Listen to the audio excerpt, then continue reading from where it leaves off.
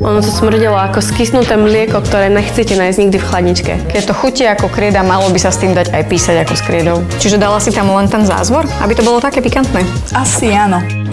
Za mňa vyzerá to hnusne. Krásne to viedla, bravo, bravo, no však máme chuť jesť. To hovedzie meso strašne smrdí. Fakt sila, to by som ani svojmu psovi nedala na tanier. Ale ja som dobrá pekárka, z toho vychádza, že? Bez servítky. Dnes o 17.50 na Jojke.